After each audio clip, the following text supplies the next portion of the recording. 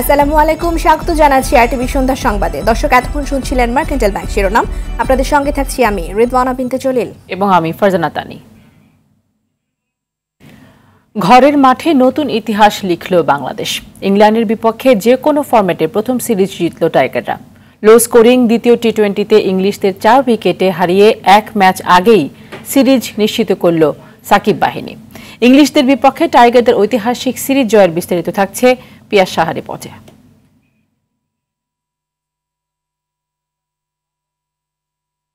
দর্শক, এই মুহূর্তে রিপোর্টটি প্রক্রিয়াধীন রয়েছে। আমরা চলে যাচ্ছি সরাসরি আমাদের রিপোর্টারের কাছে। দর্শক, মিরপুর শেরে বাংলা স্টেডিয়াম থেকে সরাসরি যুক্ত হচ্ছেন সহকর্মী কুশল ইয়াসির। কুশল, কি বলছেন আজকের ম্যাচ নিয়ে? ওখানে যেই দর্শকরা আসলে খেলা দেখতে এসেছেন তারা কি বলছেন এবং তাদের মধ্যে উৎসাহ কেমন দেখছেন?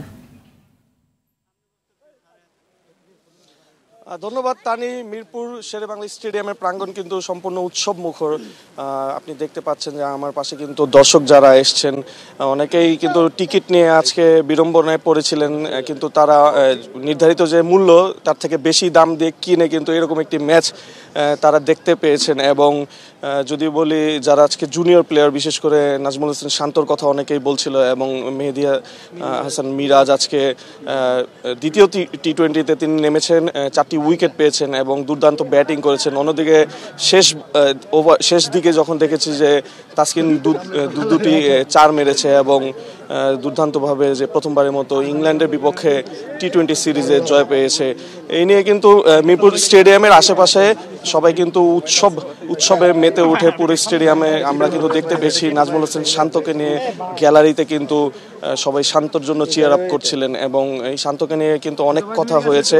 ফেসবুকে বিভিন্ন ট্রল হয়েছে কিন্তু তিনি দেখিয়ে দিয়েছেন এবং যারা তার যারা তার সমর্থকরা রয়েছেন তারা কিন্তু অফিসিয়ালি সরি বলেছেন এবং আমরা দেখতে পেয়েছি যে তাসকিনের জন্য কিন্তু সবাই অনেক চেয়ার আপ করেছেন। অন্যদিকে সাকিব আল হাসানের নেতৃত্বের কথা যদি আমরা বলতে চাই প্রথম ম্যাচে যেমন ভয়ডরহীন ক্রিকেট খেলেছিল এবং দ্বিতীয় ম্যাচে কিন্তু সেরকমই দেখা গেছে নতুন কোচ বাংলাদেশ দল একদম নতুন রূপে ফিরে এসেছে।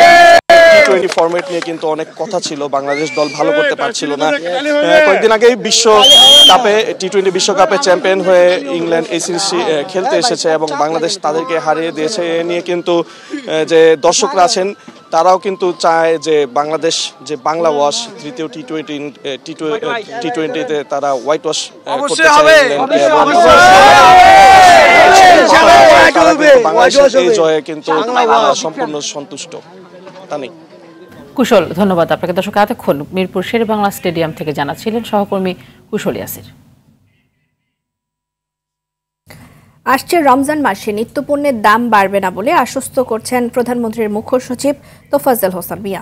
প্রধানমন্ত্রীর কার্যালয়ে এই সংক্রান্ত বৈঠক শেষে এ কথা জানিয়েছেন তিনি। মুখ্য সচিব জানিয়েছেন, এবার অনেক বেশি পণ্য মজুত রয়েছে, তাই দাম নিয়ন্ত্রণে থাকবে। মাঠে সব ধরনের মনিটরিং এর ব্যবস্থা করা হয়েছে। উল্লেখ করে তিনি জানান, রমজান মাসে যারা পণ্য মজুত করবে, তাদের বিরুদ্ধে কঠোর ব্যবস্থা নেওয়া হবে। রমজানে সেহরি আর ইফতারে যাতে সমস্যা না হয়, সেজন্য রাত এগারোটার পর সেচে বিদ্যুৎ সরবরাহ হবে এবং বিদ্যুৎ পরিস্থিতি স্বাভাবিক থাকবে বলে জানান তোফাজ্জল হোসেন মিয়া। এবার যে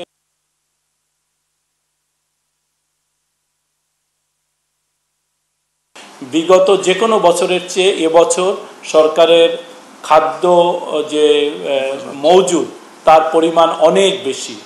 অর্থাৎ রোজায় আমাদের প্রচুর পরিমাণে খাদ্যশস্য মজুদ রয়েছে। রোজার সময় নিত্য প্রয়োজনীয় খাদ্যদ্রব্য যাতে মানুষের কাছে ঠিকমতো পৌঁছায়, সাপ্লাই চেইন যেন ঠিকমতো কাজ করে, সেজন্য আমরা সংশ্লিষ্ট সকলকে আমরা নির্দেশ দিয়েছি।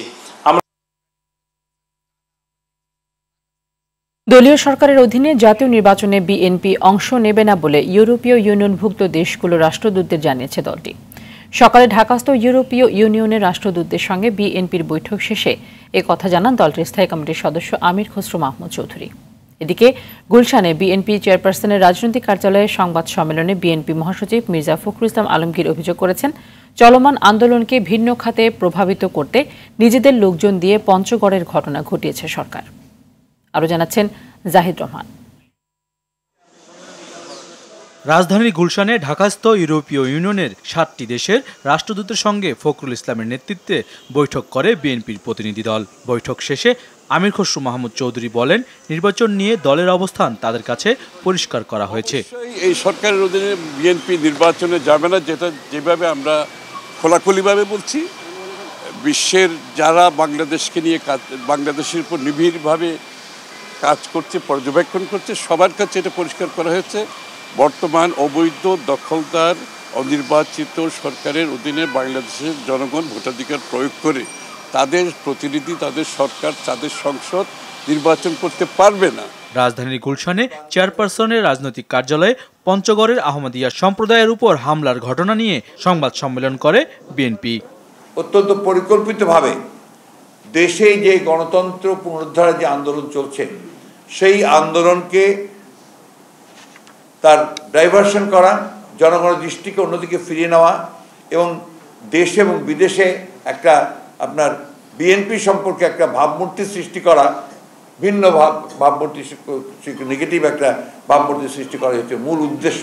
এ সময় বিএনপির ভাইস চেয়ারম্যান হাফিজউদ্দিন আহমেদ এই ঘটনার বিচার বিভাগীয় তদন্তের দাবি জানান। যারা এই অপরাধ ঘটিয়েছে সংগঠিত করেছে তারা প্রকাশ্যে ঘুরে বেড়াচ্ছে তাদেরকে ধরা হয় না। ধরা হয় বিএনপির নেতাকর্মীদেরকে। বেশ কয়েকজন নিরীহ ঘটনাস্থল থেকে অনেক দূরে অবস্থানকারী বিএনপি নেতাকর্মীকে গ্রেফতার করা হয়েছে। প্রকৃত আসামিদের আড়াল করতে গণহারে পুলিশের গ্রেফতারের নিন্দা জানানো হয় সংবাদ সম্মেলনে। ধন্যবাদ। জাহিদ রহমান আরটিভি ঢাকা।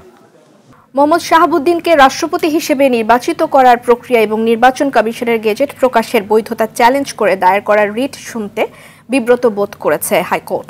সকালে বিচারপতি ফারাহ মাহবুব এবং বিচারপতি আহমেদ সোহেলের হাইকোর্ট বেঞ্চ রিটটি শুনানি না করেই প্রধান বিচারপতি বরাবর পাঠিয়ে দেয়। এ সময় বিচারপতি আহমেদ সোহেল বলেন, প্রায় পাঁচ বছর তিনি দুদকে আইনজীবী হিসেবে দায়িত্ব পালন করেছেন, তাই এই রিটটি শুনতে তিনি বিব্রত বোধ করছেন। নিয়ম অনুযায়ী রিটটি প্রধান বিচারপতি হাসান ফয়েজ সিদ্দিকের কাছে যাবে। তিনি নতুন একটি বেঞ্চ নির্ধারণ করে দিলে রিট আবেদনটি সেই বেঞ্চে শুনানি হবে।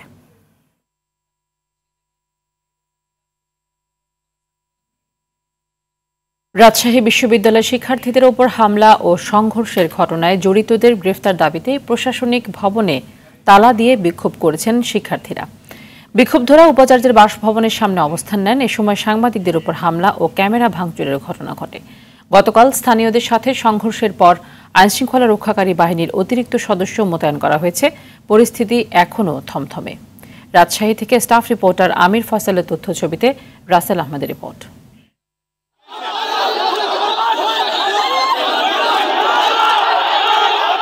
সকাল থেকে আবারও উত্তপ্ত হয়ে ওঠে রাজশাহী বিশ্ববিদ্যালয় ক্যাম্পাস। উপাচার্যের কার্যালয়ের সামনে অবস্থান নিয়ে বিক্ষোভ করতে থাকেন শিক্ষার্থীরা। প্রশাসনিক ভবনে তালা দিল এক পর্যায়ে তা খুলে নেওয়া হয়।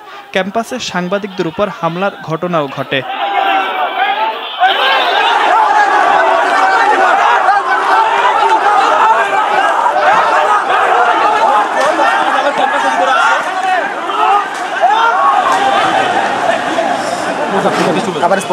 তুমি ইয়াতে যাও হাসপাতাল যাও।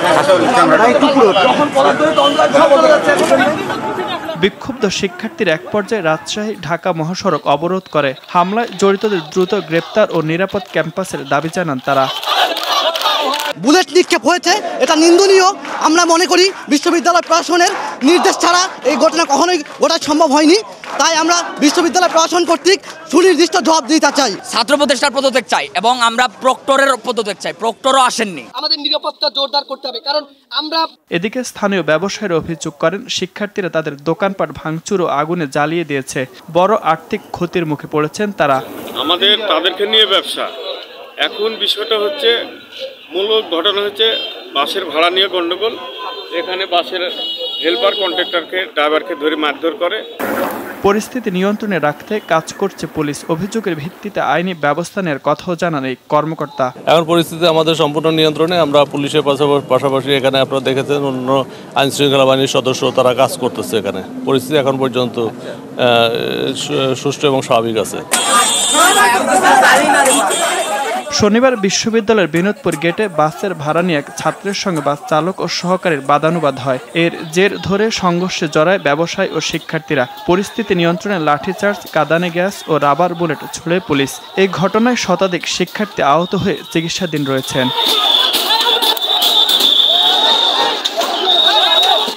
রাসেল আহমেদ আরটিভি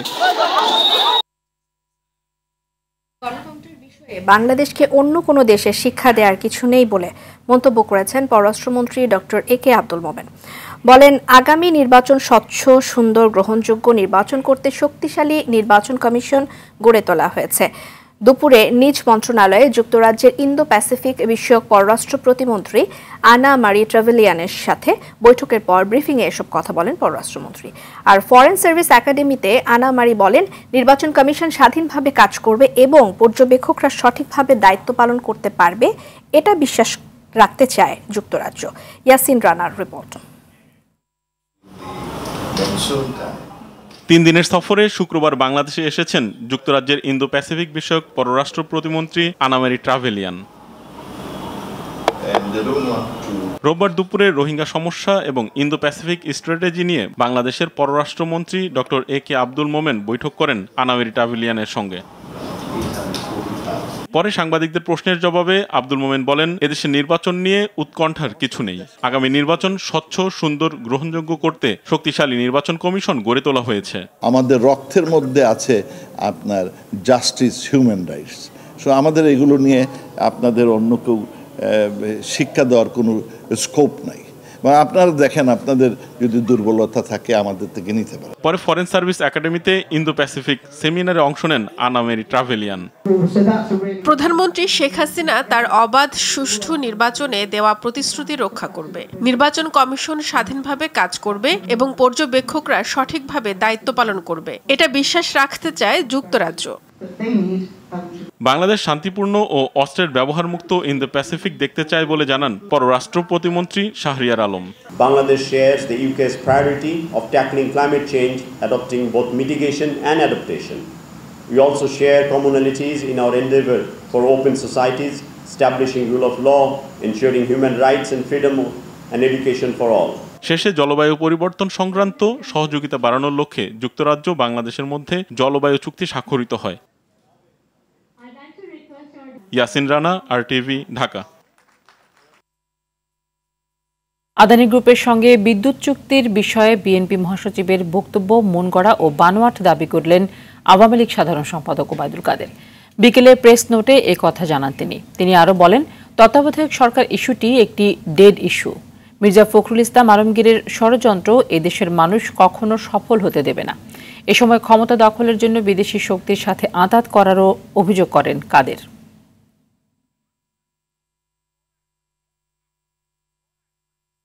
প্রায় বারো হাজার একশো সাতষট্টি কোটি পনেরো লাখ টাকা ব্যয় সম্বলিত আটটি প্রকল্প অনুমোদন করেছে জাতীয় অর্থনৈতিক পরিষদের নির্বাহী কমিটি একনেক। সকালে শেরি বাংলা নগরের এনইসি সম্মেলন কক্ষে প্রধানমন্ত্রী এবং একনেক চেয়ারপারসন শেখ হাসিনার সভাপতিত্বে অনুষ্ঠিত সভায় এই অনুমোদন দেওয়া হয়।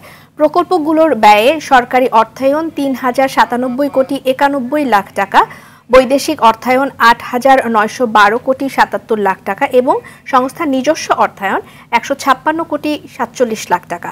সভা শেষে সংবাদ সম্মেলনে এ তথ্য জানান পরিকল্পনা বিভাগের সচিব সত্যজিৎ কর্মকার। প্রকল্পগুলোর মধ্যে বিদ্যুৎ, জ্বালানি এবং খনিজ সম্পদ মন্ত্রণালয়ের দক্ষিণ পশ্চিমাঞ্চলীয় ট্রান্সমিশন গ্রিড সম্প্রসারণ, শিক্ষা মন্ত্রণালয়ের promoting gender responsive enterprise development and TVET, system প্রকল্প ও অর্থ মন্ত্রণালয়ের কাস্টমস আধুনিকায়ন ও অবকাঠামো উন্নয়ন প্রকল্প উল্লেখযোগ্য। বাংলাদেশে নতুন একশোটি বিশেষ অর্থনৈতিক অঞ্চল আছে, যেখানে দশ বছর পর্যন্ত শুল্ক ছাড় দিচ্ছে সরকার। এদেশে আগামীতে একশো বিলিয়ন ডলারের বিনিয়োগ সম্ভাবনা সৃষ্টি হয়েছে। আর বিদেশি বিনিয়োগকারীদের এই সুযোগ মিস না করার আহ্বান জানালেন বাণিজ্যমন্ত্রী টিপু মুন্সি। সকালে বঙ্গবন্ধু আন্তর্জাতিক সম্মেলন কেন্দ্রে তিন দিনব্যাপী বাংলাদেশ বিজনেস সামিটের দ্বিতীয় দিনের প্ল্যানারি সেশনে এসব কথা বলেন তিনি। সেশনে বিদেশি বিনিয়োগকারীরাও বাংলাদেশের নানা খাতে বিনিয়োগের আগ্রহের কথা জানান। সেলিম মালিকের রিপোর্ট। বাংলাদেশকে ব্র্যান্ডিং এর পাশাপাশি দেশি বিদেশি বিনিয়োগ আকর্ষণে এফবিসিসি আয়োজিত বিজনেস সামিটের দ্বিতীয় দিনে অনুষ্ঠিত হয় তিনটি প্ল্যানারি ও ছয়টি প্যারালাল সেশন দুই হাজার একচল্লিশ সালের মধ্যে ট্রিলিয়ন ডলারের সক্ষমতা অর্জনের পথে কেন বিদেশিরা বাংলাদেশে বিনিয়োগে আগ্রহী হবেন না? দিনের প্রথম এই সেশনে প্রধানমন্ত্রীর উপদেষ্টা সালমান এফ রহমান বলেন, শুধুমাত্র ব্যবসায়ীদের সুবিধার জন্য চল্লিশ বিলিয়ন ডলারের অবকাঠামো উন্নয়ন করেছে সরকার। বাংলাদেশ সরকার ব্যবসা বান্ধব যার প্রমাণ দেশের বাণিজ্য প্রসারে চল্লিশ বিলিয়ন ডলার খরচ করে অবকাঠামো উন্নয়ন করছে সরকার। কেউ বিশেষ অর্থনৈতিক অঞ্চলে বিনিয়োগ করতে চাইলে দশ বছর পর্যন্ত কর ছাড় দিবে রাজস্ব বোর্ড। সেশনে অংশ নেয়া বিভিন্ন সংস্থার প্রতিনিধিরা বাংলাদেশে বিনিয়োগের সম্ভাবনার কথা তুলে ধরেন। আমরা দেখছি বাংলাদেশ দ্রুত গতিতে উন্নতি করছে। এদেশের ব্যবসায়ীরা এনার্জেটিক ব্যবসার পরিবেশ বেশ উন্নত। আমার দৃষ্টিতে শিল্প খাতে বিনিয়োগে বড় সম্ভাবনাময় জায়গা বাংলাদেশ। এদেশের উদ্যোক্তারা দক্ষ উৎপাদিত পণ্য মানসম্মত যা বিশ্বে এরই মধ্যে সমাদৃত হয়েছে। এতে বাণিজ্য মন্ত্রী বলেন বাংলাদেশ অপার সম্ভাবনার এদেশে বিনিয়োগ লাভজনক। বাংলাদেশের ব্যবসা বাণিজ্যকে এগিয়ে নিতে আমাদের সরকার সব ধরনের সহযোগিতা দিচ্ছে। আপনারা লাভজনক বিনিয়োগ করতে চাইলে বাংলাদেশে আসুন। না হলে কিন্তু ট্রেন মিস হয়ে যাবে। সামিটের অন্য একটি সেশনে পোশাক খাতের শীর্ষ সংগঠনগুলোর কর্তা ব্যক্তিরা জানান বিশ্বে তৈরি পোশাক খাতে বিনিয়োগে বাংলাদেশের সবচেয়ে আকর্ষণীয় জায়গা। One of the factors which played a major role is the apparel industry. পোশাক খাতে বাংলাদেশ বিশ্বের সামনে বিস্ময় সারা পৃথিবীর সবচেয়ে ভালো কারখানাগুলো আমাদের রপ্তানিতে দ্বিতীয় শীর্ষ অবস্থানে আমাদের উৎপাদিত পোশাক Socio-economic development and prosperity. And out of that 100, Bangladesh has 52. আমার মতে এই মুহূর্তে তৈরি পোশাক খাতে বৈশ্বিক বিনিয়োগকারীদের সামনে বাংলাদেশ ছাড়া দ্বিতীয় কোনো অপশন নেই বাংলাদেশের মতো কারখানা বিশ্বের কোথাও পাওয়া যাবে না Bangladesh.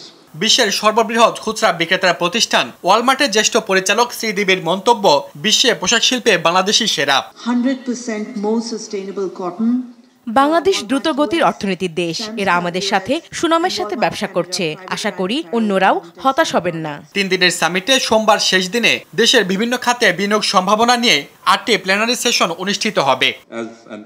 সেলিম মালিক আরটিভি ঢাকা। বিদ্যুৎ খাতে আর ভর্তুকি দিতে চায় না সরকার। উৎপাদিত মূল্য পরিশোধ করলে সারা দেশে নিরবচ্ছিন্ন বিদ্যুৎ সরবরাহ করা সম্ভব বলে মনে করেন বিদ্যুৎ ও জ্বালানি প্রতিমন্ত্রী নজরুল হামিদ বিপু। তিনি বলেন, উন্নত বিশ্ব শুধু নয়, পার্শ্ববর্তী দেশেও বিদ্যুতের দাম বাংলাদেশের চেয়ে বেশি। তবে আসার খবর হলো, দাম বাড়ার কারণে বিদেশি কোম্পানিগুলো সমুদ্রে গ্যাস অনুসন্ধানে আগ্রহ দেখাচ্ছে। দশ হাজার মেগাওয়াট বিদ্যুৎ সঞ্চালন লাইনের অভাবে পড়ে আছে, সেই তথ্য সঠিক নয় বলেও দাবি করেন প্রতিমন্ত্রী। বিকেলে বঙ্গবন্ধু আন্তর্জাতিক সম্মেলন কেন্দ্রে বাংলাদেশ বিজনেস সামিটে টেকসই উন্নয়নে জ্বালানি নিরাপত্তা বিষয়ে সেমিনারে তিনি এই কথা বলেছেন। গত বারো বছরে বাণিজ্যিক প্রতিষ্ঠানে গ্যাস সরবরাহের কারণে গ্যাস কমছে বলেও জানান প্রতিমন্ত্রী।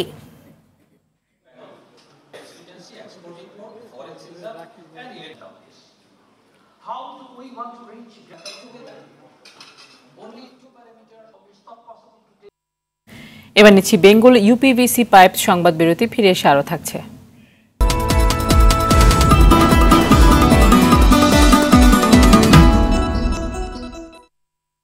সন্ধ্যা সংবাদ দেখছেন আরটিভিদের সাথে আছি, আমি ফারজানা তানি। আমি রিদওয়ানা মিন্তে জলিল। চট্টগ্রামের সীতাকুণ্ডে তুলার গোডাউনের বাইশ ঘণ্টা পর নিভেছে আগুন। উপজেলার ছোট কুমিরা এলাকায় রাত থেকে সকাল পর্যন্ত আগুন নেভাতে ফায়ার সার্ভিসের নয়টি ইউনিটের পাশাপাশি কাজ করে সেনাবাহিনী, নৌবাহিনী এবং বিমান বাহিনী সহ বিজিবির সদস্যরা। তবে এখনও তুলার গোডাউনের ভেতরে বিভিন্ন স্থানে আগুন জ্বলতে থাকায় এসব জায়গায় পানি ছিটাচ্ছে ফায়ার সার্ভিস। এ বিষয়ে ফায়ার সার্ভিসের চট্টগ্রাম বিভাগীয় উপপরিচালক আব্দুল হামিদ জানান যে পানি সংকটের কারণে আগুন নেভানো কঠিন হয়ে পড়ে। অগ্নিকাণ্ডের ঘটনায় জেলা প্রশাসন গঠিত দশ সদস্যের তদন্ত কমিটি আজ থেকে কাজ শুরু করার কথা রয়েছে।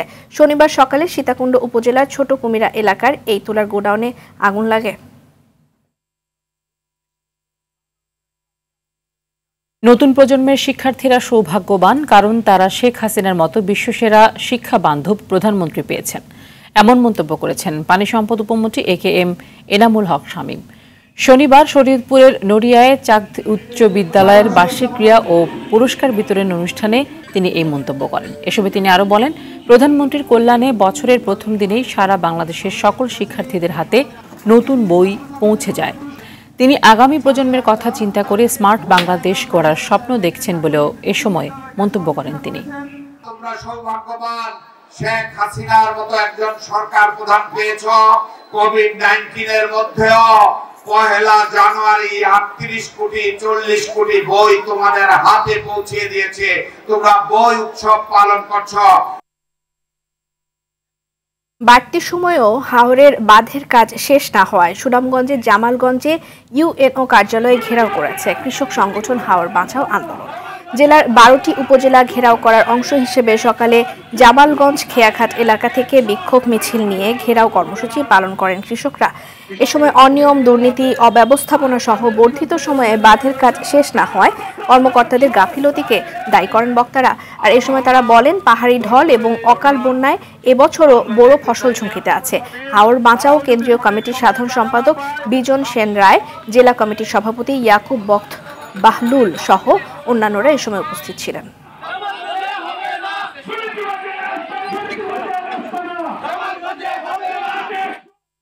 এ পর্যায়ে সময় হলো বেঙ্গল ইউপিভিসি পাইপ সংবাদ বিরতির, ফিরে এসে থাকছে।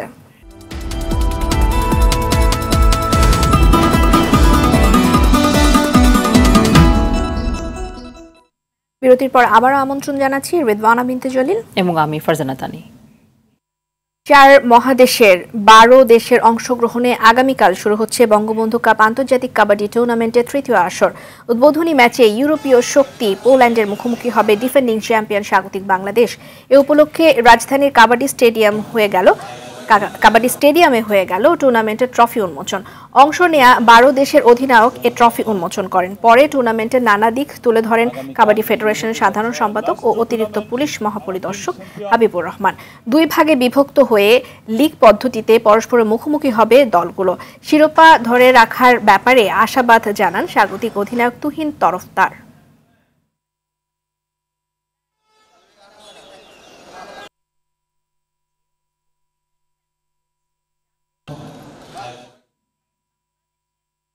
সন্ধ্যা সংবাদ এই পর্যন্ত সবশেষ সংবাদ জানতে যে কোনো মোবাইল ফোন থেকে two four one four one নম্বরে ডায়াল করুন। রাতের সংবাদ পৌনে এগারোটায় দেখার আমন্ত্রণ রইল। ধন্যবাদ সবাইকে। ধন্যবাদ।